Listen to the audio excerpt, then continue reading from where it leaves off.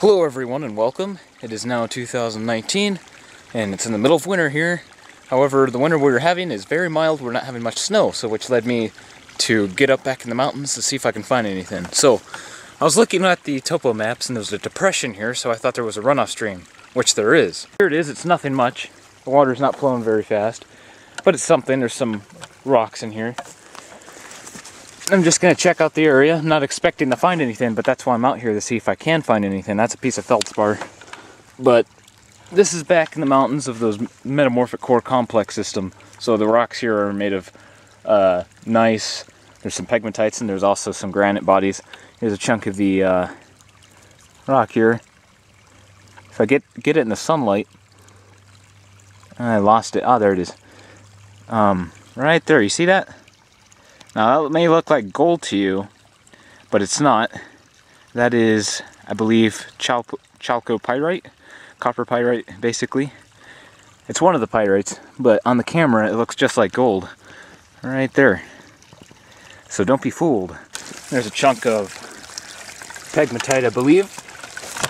Let's see, it's, in, that's lodged in there pretty good. But there's lots of pegmatite material out here. There's lots of nice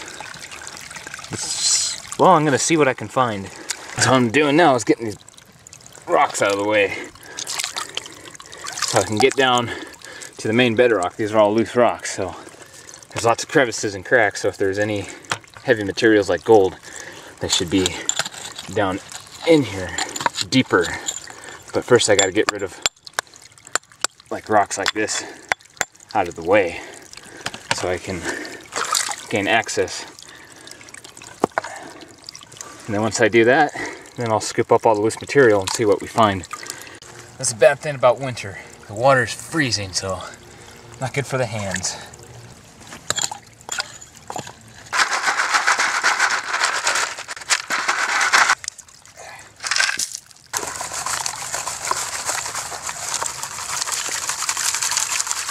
What's interesting is, even though these mountains are metamorphic mountains, I'm still finding some sedimentary rock in my pan. And that's probably from the glacial uh, outburst floods from the Ice Age.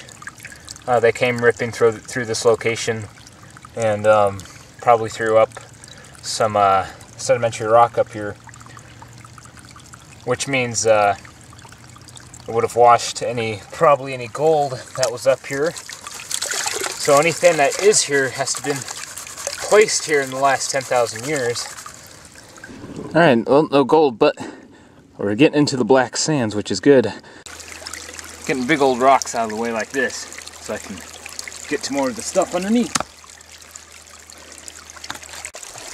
There's some, still some rock down there that's causing me problems. I gotta get it out.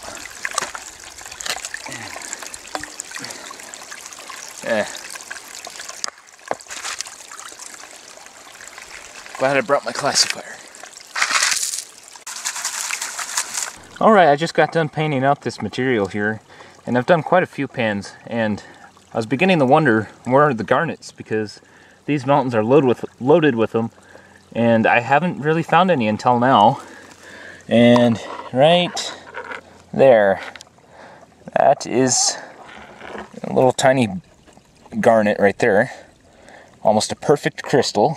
It's really deep red, you can see right through it and there's a little more black sand. There's a couple more garnet shards in here. So I'm just now starting to get to the garnets. And I forgot what specific gravity garnet has, but the fact that I'm just now finding them means I have probably a lot deeper to go before I have a chance of finding any gold. But that garnet right there is pretty nice looking. If it was only a little bigger, it'd be perfect. Hopefully you can see this a little better. Kind of looks like I poked myself and I'm bleeding. But that's the garnet right there. Just a tiny little thing. That hole just keeps getting deeper and deeper. Keep removing lots of big old rocks out of there still. Still haven't gotten to the solid bedrock, but it can't be far because I am on a mountain. But again, what I'm doing is sampling these runoff areas. And I'll sample this one briefly. And then there's another area not too far. There should be another runoff. And what I'm gonna do is work my way across the side of this mountain to see if I can find anything. I'm not too far away from where I found a little bit of uh, flour gold. And again, it was really small amounts. The camera makes it look larger than it actually was. And historically, there was a prospector about that direction, maybe not even a mile. He bought a homestead, or he started a homestead on his property, and his house was against the mountain here, and he himself found a little bit of color. Now, there is a story I know. I don't know the guy personally, but he had a friend, and this is several years ago. Um, he had a friend that said there was a gold vein out here in these mountains somewhere. And the exact location, of course, was not told, but it's in these mountains somewhere. And if I remember, it's in the saddle. They call it the saddle part. It's where the saddle connects to the bigger part of the mountain.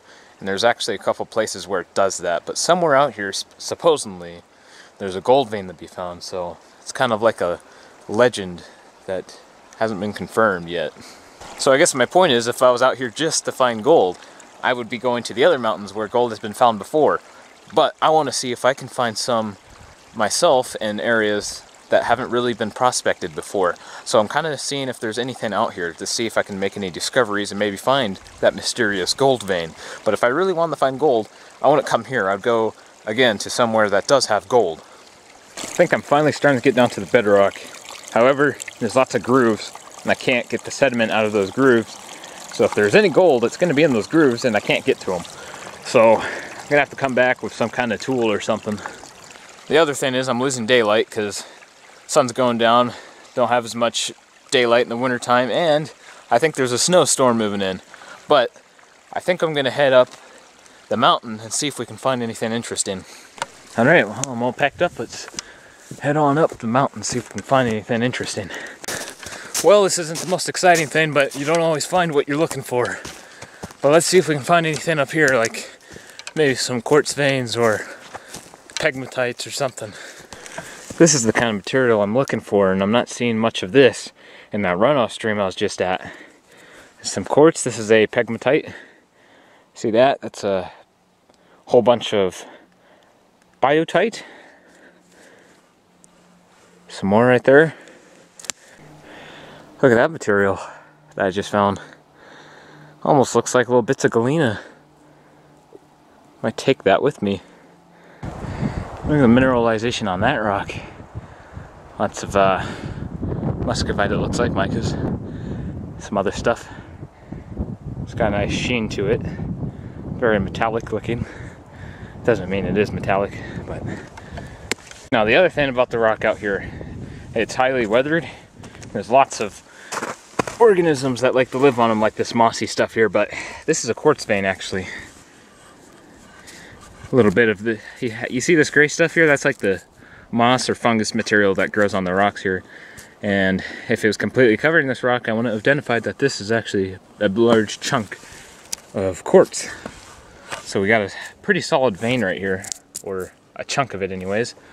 And right there, ah, looks like another part of it. So there's a there's a vein here. It runs probably down that way into the trees. Again, my point there's so much vegetation out here you can't see the vein because it's pretty much buried.